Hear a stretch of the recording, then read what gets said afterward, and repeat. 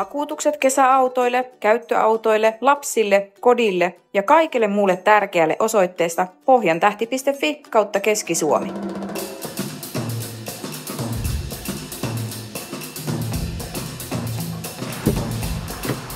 Morjesta. Morjes.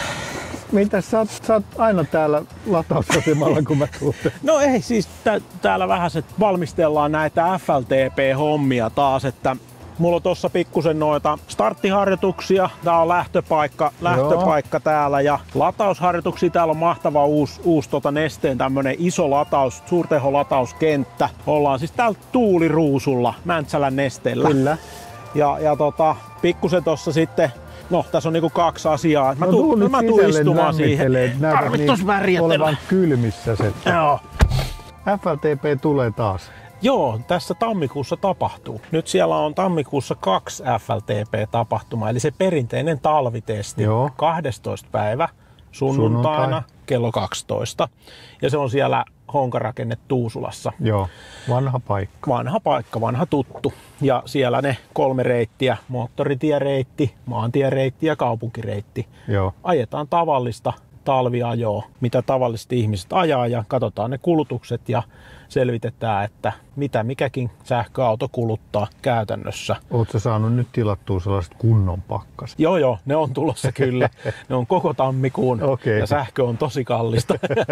no ei. Toivotaan tietysti kunnon talvikelejä. Ja sen takiahan nämä on ajoitettu tähän tammikuulle, että Niin. silloin ne, yleensä ne kylmimmät kelit olisi. Öö, päivämäärät on lukittu 12. päivä ja sitten se FLTP 1000 kilometriä testi on 30. päivä. Ja Ja mikäs viikonpäivä se on? se on sitten torstai-päivä. Eli, Torstaista? Joo, kyllä. Se- niin, se on se koko se torstai. torstai ajetaan. Joo. Eli silloin me täältä just startataan aamusella. Öö, tavataan täällä 6.30. Sitten seitsemältä jo lähtee ensimmäiset autot minuutin välein. Ja Joo. niin kuin se on ihan erilainen testi sitten taas, Niin. että siinä testataan se, että kuinka paljon sähköautolla kuluu aikaa matkata se tuhannen kilometrin taival. Eli simuloidaan vähän tämmöistä niin kuin hiihtolomareissua. Joo. Talvilomalle lähtö Lappi. Ajetaan tästä Mäntsälästä sinne Ouluun ja Rovaniemelle napapiiri yli Kemijärvelle. Pitääkö siinä olla sitten niinku lapset mukana, että saadaan simuloitua? Joo, ja, sinne, ja jos ei ole, niin iso JBL, mistä tulee sitä metakkaa ja tappelua. niin, niin, niin. Sieltä koukataan, tosiaan Kemijärvi on se lakipiste ja sieltä ajetaan takas vähän alaspäin sitten Okei. Kuusamon.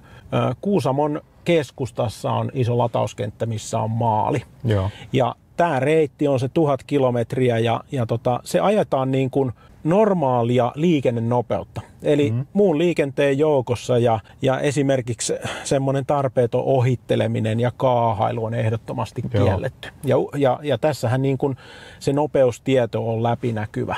Eli, mm. eli tota, sitä seurataan ja vartioidaan haukan silmin siellä, että, että ihmiset ajaa ihmisiksi. Tässä on muutama mielenkiintoinen niin kuin osallistuja No. mukana.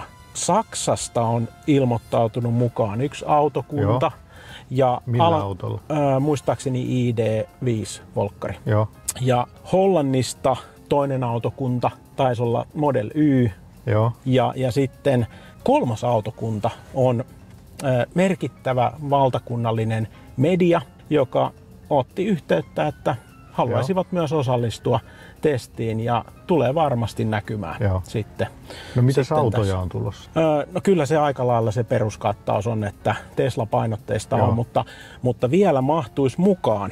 Eli tietysti talvitestiin silloin Sinne 12. ma- sinne päivä mahtuu sinne niin kuin valtavasti osallistujia toivotaan mukaan ja muitakin kuin Tesloja. Kaikki on tervetulleita. Ja sitten äh, tässä tuhannen kilometrin testissä niin meillä on tällä hetkellä ilmoittautuneita noin 50 autoa. Eli, Joo. eli tota, sinnekin otetaan mukaan, mukaan Onko se sitten sitten maksimi se 50 vai mahtuuko lisää vielä?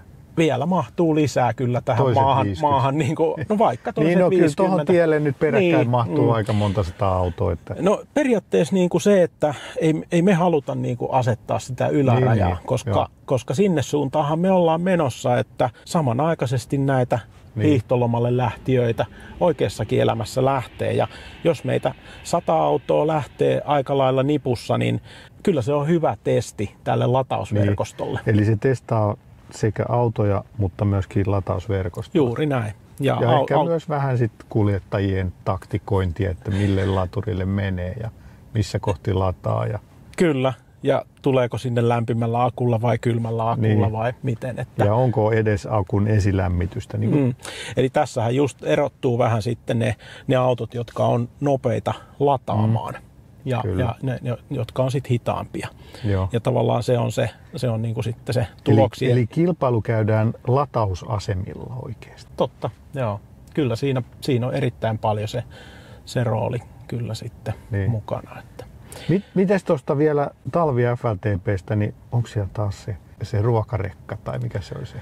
No ruokarekka ei valitettavasti nyt tähän talvi FLTP ennätä, että siellä, okay. siellä on tota, tai sanotaan näin, että on vaikea saada niin kuin talvella ruokarekkoja niin, niin. liikkeelle, niin. Joo, kun, joo. kun se on niin kuin heille, heille sitten haastavampi ajankohta, mutta tota, moni ruokarekkailija ilmeisesti talvi, kesälomaa viettämässä. Niin, niin. Mutta siellä ollaan honkarakenteella sitten ja siellä on meillä sisätilat käytössä ja, ja tota, näin. Ja sinne mielenkiintoisia tuotteita, eli sinne tämä Kian EV3 mm. ja EV6 facelifti Joo. tulee esille talvi FLTP ja sitten meillä on pyr- kova pyrkimys saada sinne tämä uusi edullinen sähköauto, tämä Nammiboksi. Aa. Ja, ja tota, Suomen edullisia sähköautoja. Niin, niin, niin, tulla sinne sitten esittäytymään ja, ja tota, kansan katseltavaksi. Mä just katson, että mulla on toi PYD Tang uusi versio siitä. Mutta mitäs muuta sinne sitten? Paljon sinne osallistujia ja mersuja ja kaikkia merkkejä mukaan. Niin. Että tota, että... Joo, mersut on ollut aika pienellä prosentilla se, mukana. Se on, se on, mutta tota, nythän se muuttuu varmasti. Et nyt tulee kai. mersut sankoin joukoon. Ja Joo. Totta kai ö, sähköautomakkaraa pistetään taas tarjolla. Aivan. nämä perinteiset, perinteiset tota, systeemit. Ö, tehdään hyvä tapahtuma siitä, tehdään iso tapahtuma ja, ja saa osallistua molempiin. Eli Aivan. talvitestiin ja tuhannen kilometrin testiin on, on molemmat herättänyt paljon nyt suosioa ja paljon on tullut yhteydenottoja, että mä luulen, että tässä taas jonkunlaisia ennätyksiä rikotaan. No niin, hieno homma. Mä menen jatkaan tuohon. Mun täytyy Meitä nyt ottaa jatkaa. noita lähtöharjoituksia. Joo. Ja, ja o, tuota... mi, miten sitten nämä niin vessatahot, pitääkö niitä harjoitella jotenkin? Joo, siis meillä on niin kuin näitä, mitä suositellaan mukaan, niitä irrotettavia nastapohjia. Joo. Että pääsee niin kuin nopeasti Juokseen. juoksemaan vessakäynnit Joo. ja kahvihaut, koska ne on Onko joku suositus? lataustehot niin kuin, niin kuin noussut niin paljon. Niin, niin onko jotain suosituksia, millaiset housut kannattaisi valita, että ne saa nopeasti sitten Kyllä. Joku ne, ne, ne, tota, ne 80-luvun nappiverkkarit haastaa. Mutta ei, ei vyötä ja henkseliä ainakaan.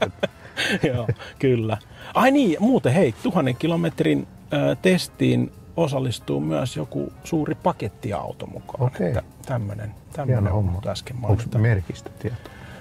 äh, olisiko se ollut sprinteri, eli Okei, okay, hyvä. Joo. Semmoista. Hei. No niin, hyviä jännittäviä juttuja Joo. on tulossa. Niin Kyllä. Nähdään silloin 12. päivä sunnuntaina. Kyllä. Ja sitten 30. 30. päivä torstaina. Yes, nähdään.